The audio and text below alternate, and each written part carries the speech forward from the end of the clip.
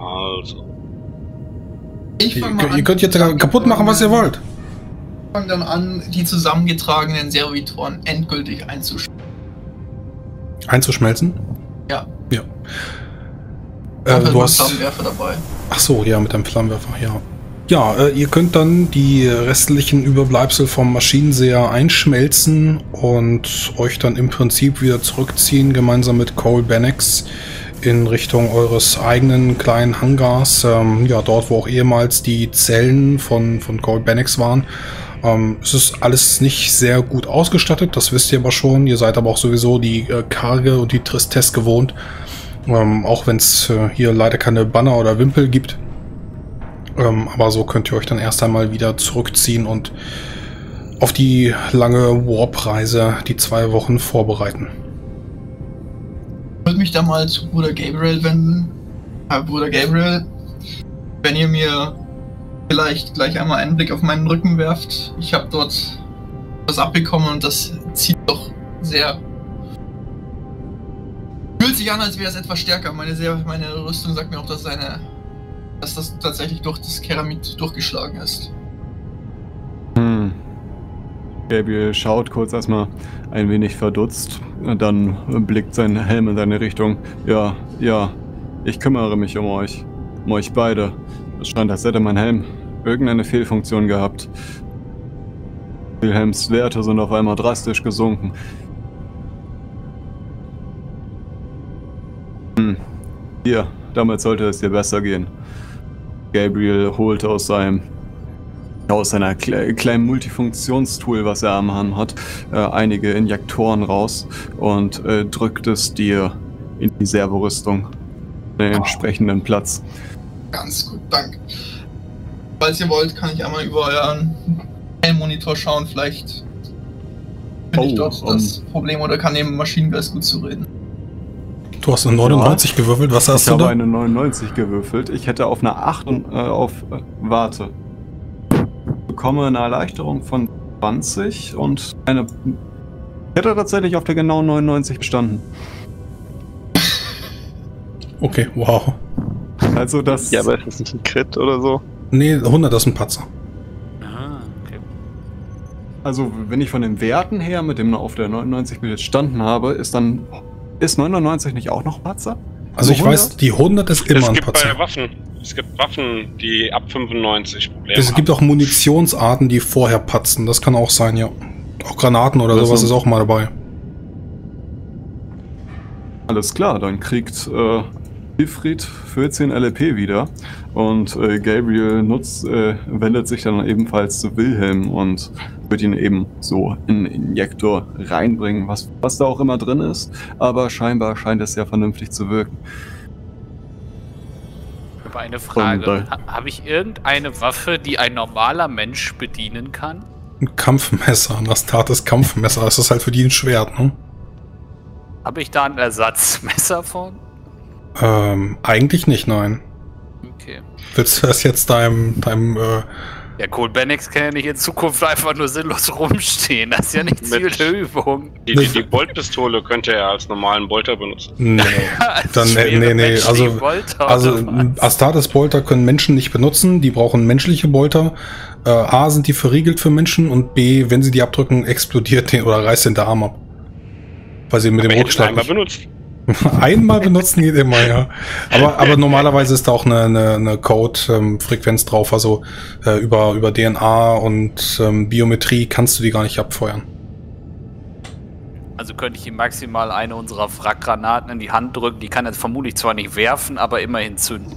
Also was du machen könntest ist, ähm, der Watch Captain Brand ist da. Das ist kein Inquisitionsschiff, aber du kannst natürlich ihn ganz generell auf dem Freihändlerschiff ausstatten. Die haben 100 pro exotische Waffen. Er muss jetzt ja keine, er muss ja keine Astartes-Waffen bekommen. Du kannst ihm jetzt Nö, einfach über den halt Freihändler was anderes geben.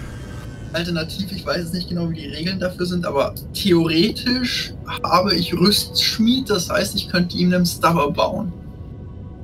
Einfach einen Slugwerfer. Also in zwei Wochen kannst du da bestimmt anfangen, ihm irgendwas zu schmieden. Nachdem die Rüstungen repariert sind. Ja, ich wollte gerade sagen, wir haben wichtigere Probleme. mein Hm. ganzer Arm ist hochgegangen. Ja. Ja, ansonsten stellt sich zu dem Iron Hand, dem Eisenschmied Pro, der hat ja auch äh, einen Arm aus Eisen. Ach, was ein bisschen Reparaturzement, dann geht es wieder.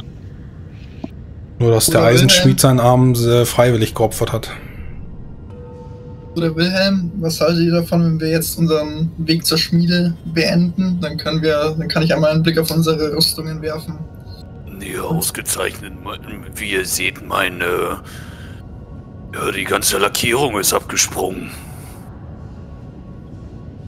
Und Teile von meinem Arm, aber darum hat sich der Bruder schon gekümmert. Nicht Das ist nur schon am Regenerieren. ich das so sehe. Einige der Verkabelungen scheinen sich auch, auch gelöst zu haben. So, Gabriel, du kannst einmal am Tag heilen. Ich kann jeden einmal alle 24 Stunden heilen. Gut, alles klar. Ja, ähm, dann könnt ihr gemeinsam in die Schmiede gehen. Ähm, lasst euch dann vom Eisenschmied Brormanok und dem Tech-Schmied Numata der Salamanders ähm, ja, die Rüstung reparieren. Ähm, das dauert natürlich ähm, ja sicherlich die nächsten drei, vielleicht vier, fünf Tage. Aber in den zwei Wochen werdet ihr es äh, schaffen. Äh, Ifrit, du kannst das natürlich auch selber machen. Ja. Aber gerade wenn dann so ein, äh, der, der Arm vom Imperial Fist Wilhelm dann zerstört ist, da wird dann äh, auf alle Fälle dann Numata reinschauen, also der Salamander von, von euch, von dem anderen. Wunderbar, dann kann der mir auch noch ein paar Sachen beibringen. Ja, kann er. Weiß. Auf alle Fälle. Ihr könnt euch auch äh, generell, ähm, könnt euch natürlich mit den anderen äh, unterhalten, von den Space Wolves, äh, ein Ultramarine ist da, es gibt einen Crimson Fist und einen Imperial Fist ähm, und auch einen Black Templar. Ähm, ja, also im Prinzip ist auch für euch äh, relativ viel Gesprächsbereitschaft äh, Bereitschaft da. Ähm, ihr könnt aber auch natürlich dann zu dem Freihändler wieder aufs Kapitänsdeck treten, wenn ihr euch dann wieder äh, erholt habt. Ich würde tatsächlich einmal mit dem Tech Marine reden, ob er nochmal schaut, aus seiner Sicht die ganze Kurz sich nochmal anschaut, ob nicht doch noch irgendwo hier was auf dem Schiff im Argen sein könnte. Ja, äh, er schaut euch aus seinen feuerroten Augen mit der schwarzen Haut äh, an, nickt. Äh, ja, ich werde mir selbstverständlich noch einmal alles ansehen und nicht darauf vertrauen, was dieser Straftäter alles mit euren Codes angestellt hat. Immerhin haben wir einige Servitoren erschlagen müssen. Alle waren verseucht und mit abscheulichen Zeichen versehen. Das Chaos kann sich überall manifestieren, Bruder. Aber ja, wir werden sämtliche Infekte finden und heilen. Wenn ihr Unterstützung braucht, sagt Bescheid. Hm. Er schüttelt mit dem Kopf. Für sowas eignen sich eigentlich relativ gut Bruder Kyros und der Bruder Veteran Arelin. Ein Minotaure und ein Kacharodon. Solange sie nicht menschlich sind, äh, lassen wir meistens sie auf unsere Feinde los. Das klingt nach einem Riesenspaß. Ja, er nickt, äh, während er da wohl gerade äh, ein kleines Plättchen aus dem äh, Arm von Wilhelm ausgebaut hat, lötet da wohl gerade wieder irgendwas zusammen mit seinen verschiedenen Armen. Ähm, ja, und ähm, schaut dich dann wieder an. So, wart ihr schon einmal im Arm der Tyranniden? Ich habe schon gegen Tyranniden gekämpft. Ich war. Ja, aber ob ihr im Orpheus-Keil gedient habt? Tja, Jetzt muss ich tatsächlich gerade überlegen. Zweimal, ja. Ich glaube, da waren wir Aber- ganz am Anfang. ja, ne? Genau, Anfang, Cast ja. Castabel und Avalos, genau. Genau, genau. Wir waren Tat. die Ersten, die ein Pyramidenschiff geändert, ha- geentert Ja. Wir waren dort und haben gar auf einem Tyranniden das Schiff uns durchgeschlagen. Ihr wart das. Davon habe ich gehört. Es war ein riesiges Gemetzel. Meine Brüder und ich haben eine Sprengung getätigt, um das Gehirn in tausende von Stücken zu zerfetzen. Um Ja. zu zeigen, dass wir auf sie warten. Es nicht geschlagen geben. Wenn Nick dann erkennt. Wir haben wohl von der ja, von dem Überfall auf Avalos gehört und der beinahe Vernichtung.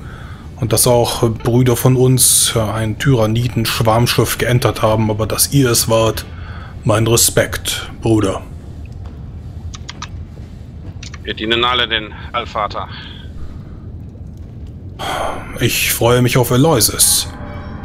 Nun, nachdem der Planet wieder erobert wurde, gibt es dort viele Menschen, viele von der Ekklesiarchie. Die Schwestern. Hm. Bin gespannt, auf welche Feinde wir dort treffen. Leider werden wir eine andere Mission betätigen. Wir müssen direkt weiterfliegen. Hm. Aurum. Aurum. Leider habe ich nicht die Ehre, mit euch Brüdern direkt in die nächste Schlacht zu ziehen. Nun, ich habe die Space Wolves davon reden hören. Aurum, eine Welt für euch tatsächlich.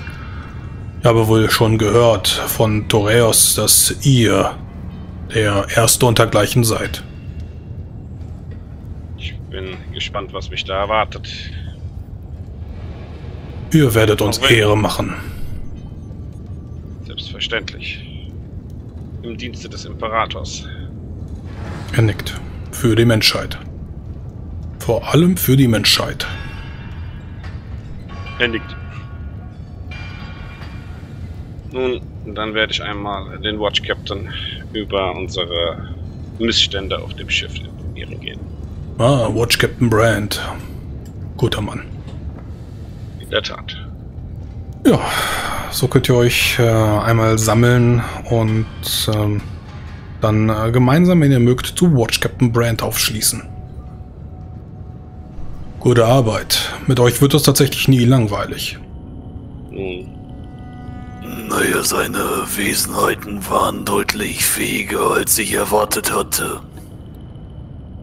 Erschreckend, nicht wahr? Dass Servitoren so etwas anrichten. Das Chaos schreckt vor Angst nicht zurück. Wir werden uns noch um den Keil kümmern. Akeros ist wild geworden. Die Hadex-Anomalie pulsiert. Und die Calibos Kriegszone ist nach wie vor sehr aktiv. Aber der Freihändler Diaslan hat euch gelobt. Er hat mitbekommen, was ihr für ihn und sein Schiff getan habt. Die Frage ist, was war der Plan des Chaos-Anbeters? Das haben wir leider nicht herausfinden können. Er nickt. Nun, er starb, bevor wir an Bord gekommen sind. Wir konnten es also nicht herausfinden. Seine Leiche haben sie bereits beseitigt. Auch dies bietet keine Option mehr für uns.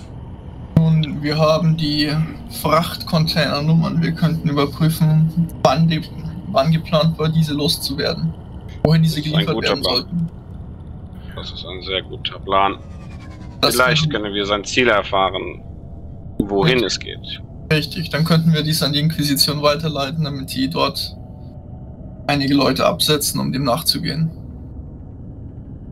Vor allem können sie kontrollieren, ob er nicht schon in irgendeiner Form Verbündete vor Ort hat. Ein ausgezeichneter Vorschlag. Ich äh, werde gemeinsam mit euch die beiden Tech Priests, die beiden anderen Brüder aus dem anderen äh, Exterminator-Team darauf ansetzen. Vor allem sollte das Schiff, sobald es seine Mission erledigt hat, gründlich untersucht werden. Nicht, dass doch noch irgendwo ein Versteck ist. Ein Code oder sonst was dergleichen, was jederzeit ausbrechen kann. So wird es geschehen. Also gut, dann ruht euch aus, erholt euch von den Verletzungen und repariert eure Rüstung. Der Tech Marine unterstützt uns. Ja, so könnt ihr tatsächlich äh, euch weiter mit dem Freihändler unterhalten, mit seinen Offizieren, die an Bord sind, beziehungsweise auch mit dem ähm, Obristen der imperialen Armee, ähm, der euch dann ja auch später auf Aurum begleiten wird, Archibald Heth, der äh, ja noch nicht wirklich viel weiß. Er weiß, dass ein paar Katachaner, äh, so um die zehn aktuell dort sind, Ähm, eine kleine Stationierung, die da wohl gedient, äh, dienen darf, aber auch die dürfen den Dschungel nicht wirklich betreten, beziehungsweise die wenigen, die es dann mal getan haben, kamen auch damals nicht wieder, selbst wenn es Katashana sind. Ja, er ist relativ gespannt auf äh, euch, wenn ihr dann unten seid, auf die Aurana, von denen er viel gehört hat. Und äh, freut sich auf die Mission und auf die vielen Fortschritte, die ihr leisten werdet. Äh, Archibald. Was ist über die. Was könnt ihr uns schon über die Ekklesi Ekklesiarchie auf dem Planeten sagen?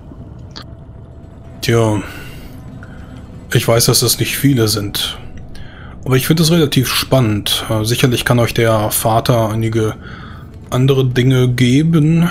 Hm, Aber es stellt sich natürlich die Frage, warum unsere Ekklesiarchie die Auraner eingliedern will und nicht bereits vernichtet hat. Sie haben einen alten Glauben, der wohl auf die auf das dunkle Zeitalter verweist. Und ich bin sicher, da werden sie uns dann. Das werden sie uns erläutern können. Tja, ich bin kein wirklich seliger Mann, müsst ihr wissen.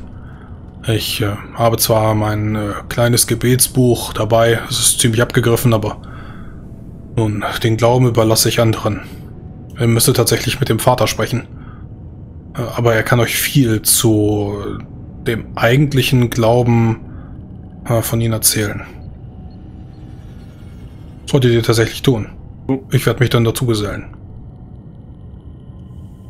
Ein Funken der Wahrheit des Imperators ist überall verteilt.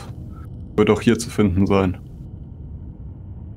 Tja, ich habe das wie gesagt äh, versucht zu verstehen, aber am Ende habe ich es nicht verstanden.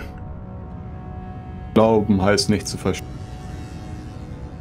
Nicht immer. Und manche Dinge muss man erfahren. Ähm, wenn ihr mögt, kann ich euch einen ähm, Auszug geben aus dem Logbuch von Ballastus Irem M31. Der ist sicherlich schon lange tot. ja, sicherlich seit 10.000 Jahren. Aber hm, er hatte Die wohl... Frage, die Frage wird eher sein, das wird uns dies helfen. Immerhin, ja, Jahrtausende, die dazwischen liegen, hat sich der Planet ja wohl definitiv verändert. Oder leben sie nach genau diesen Auszügen immer noch genauso weiter? Tja, ich äh, kann ihn euch geben, wenn ihr mögt. Das wäre. freundlich. Ja, einen Moment. Er geht zu einem der Pulte, ähm, wird sich da selber dann freischalten und ähm, nach einigem Klicken, wo auch ein bisschen flucht, weil er dann mit der Bedienung nicht äh, klarkommt, äh, könnt ihr dann spüren, wie äh, er euch eine Daten, ein Datenpaket zuschicken möchte. Ihr könnt das Ganze dann bestätigen und im Prinzip äh, lesen. Tatsächlich aus dem Jahr M31, äh, und zwar 412 M31 und handelt von einem strategischen Rückzug. Aus dem Logbuch Ballastus Irems 5984129 M31. Ein strategischer Rückzug. Ich habe im Laufe der Jahre, die ich im Schatten der Weite verbrachte, viele Schrecken gesehen und wage sogar zu behaupten, mich einigen von ihnen aus eigenem Antrieb gestellt zu haben. Dennoch habe ich nie geglaubt, ich könnte jenen mystischen Albträumen begegnen, auf denen die Geschichte des Imperiums basiert. In meinem letzten Eintrag über die aussichtsreichen Fundstätten hier in den unerblickten Weiten habe ich auf die unbewohnte Anomalie 47M detailliert beschrieben. Sie mag keine Bewohner haben, doch ist diese Stätte keineswegs frei von Gefahren. Ich nahm ein Dutzend meiner besten Männer in diese toten Hallen mit. Als wir die anderen Fußspuren entdeckten, gingen wir davon aus, dass es sich um die Spuren unserer alten Widersacher, um die Reichtümer der Welt handeln musste, die Jünger von Thule. Wie sehr wir uns doch geirrt haben. Wie schildert man mit einfachen Worten den seelenzerfressenen Schrecken eines Grolls, das man bisher nur aus halb geglaubten Geschichten gekannt hat? Ich weiß jetzt, dass die verderbten Adeptus Astartes wirklich existieren und wesentlich schrecklicher sind, als jede noch so lebhafte Fantasie zu zeichnen vermag.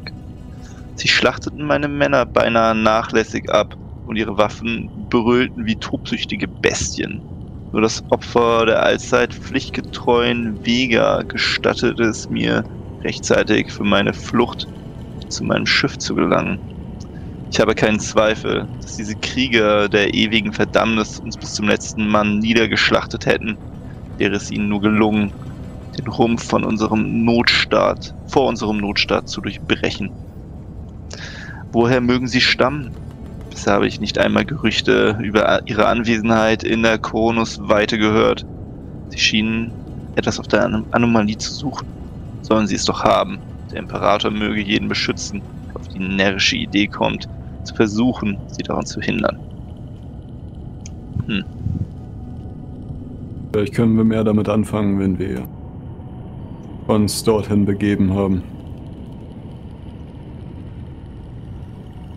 Keil Rylus Dunkelgeisel. Dunkelgeisel war bereits Aurums Keile, als der Kreuzzug die Welt vor drei Jahrzehnten entdeckte. Er ist selbst für die Maßstäbe seines Volks ein großgewachsener Mann und kann es an Körpergröße fast in einem Space Marine aufnehmen. Sein langes, schwarzes Haar sind mehrere kleine Knoten eingeflochten. Doch er trägt sonst keinen Schmuck, bis auf den polierten Knochenstirnreif. Wie alle Anführer Aurums hat er seine Position nicht geerbt, sondern durch einen Sieg brutalen Kampfspielen errungen. Hylos ist ein charismatischer Redner und mächtiger Krieger.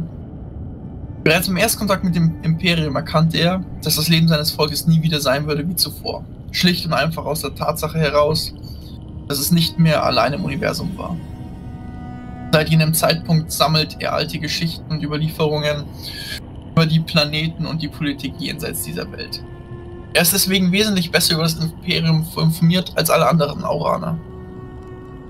Die Geschichten von Händlern und seine Interpretation, die er zwischen den Zeilen der Geschichtsbücher herausgelesen hat, haben ihn zu einer grimmen Schlussfolgerung kommen lassen. Er ist überzeugt, dass der Kreuzzug, wenn man ihm die Kontrolle über Aurum zustünde, die Ressourcen der Welt und sein Volk gnadenlos ausbeuten und als Schatten ihrer selbst zurücklassen würde. Aurelius hat sich seiner Entscheidung nicht einfach gemacht. Bei seinem Studium der Galaxis hat er erkannt, dass dort draußen zahlreiche Bedrohungen lauern. Dass das Imperium der Menschheit auch die beste Verteidigung für Aurum sein könnte. Die Botschaft, die von einem schützenden Imperator und seiner vereinten Menschheit kündet, hat einen wahren Klang in seinen Ohren und berührt seine Seele. Gleichwohl ist er der stolze Krieg König eines stolzen Volkes, er würde niemals den goldenen Planeten freiwillig einem grausamen, unwürdigen Diktator unterstellen. Die Ordensbrüder stellen für ihn eine einzigartige Gelegenheit dar. Rylus hat natürlich auch Gerüchte vom Mut und der, Erde der und der Ehre der Adeptus Astartes gehört.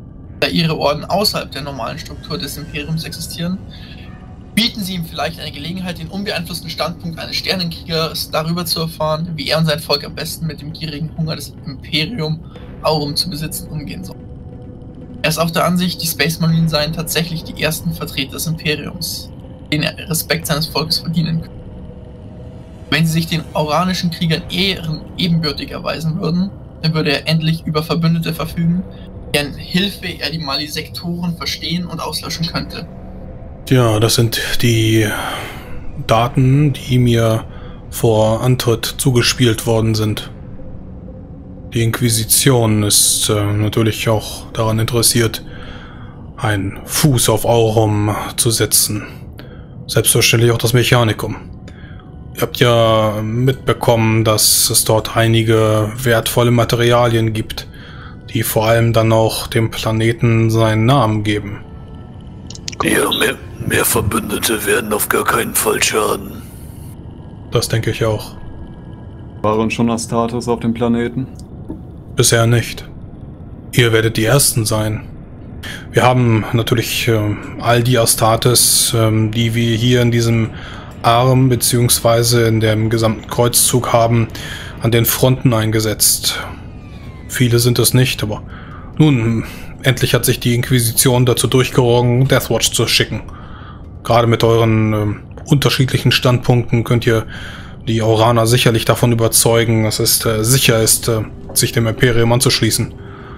Wir haben natürlich noch einige Blood Angels hier in der Nähe, aber nun, ich äh, glaube nicht, dass äh, bei all der Ehre, die ich ihnen äh, zustehe, vielleicht nicht ganz so sinnvoll ist, der Blood Angel auf, äh, nun ja, mit äh, Auranern verkehren zu lassen. Hm, Wir werden die ersten Astartes seit 10.000 Jahren sein, nicht? Davon gehe ich stark aus, ja. Ich weiß, wie gesagt, nicht, warum mir ähm, ein solches äh, Logbuch zugespielt worden ist. Ach, ihr Aber- wisst nicht, woher es kommt. Nun, ich weiß nicht, warum es dabei war. Und äh, wenn mir die Inquisition ein Datenpaket zuschiebt, dann werde ich auch nicht fragen. So dumm bin ich nicht. Das habe ich mittlerweile als General gelernt. Ja, ich bin sicher, ein Sohn Fenris wird den Herrn überzeugen, dass wir mit seinen Kriegern mehr als mithalten können. Ich bin immer froh, wenn diese, ich bin immer froh, wenn die Söhne von Fenris auf meiner Seite stehen. Wenn wir die ersten Astartes sind, die auf diesem Planeten anlanden, so werden sie die wahre Stärke des Imperiums erkennen. Das sie haben, sie haben von den Geschichten selbstverständlich gehört. Immerhin sind wir seit 30 Jahren mal mehr, mal weniger dort unten. In letzter Zeit weniger, aber gehört haben sie von euch. Und jetzt dürft ihr den Geschichten keine Lügen strafen.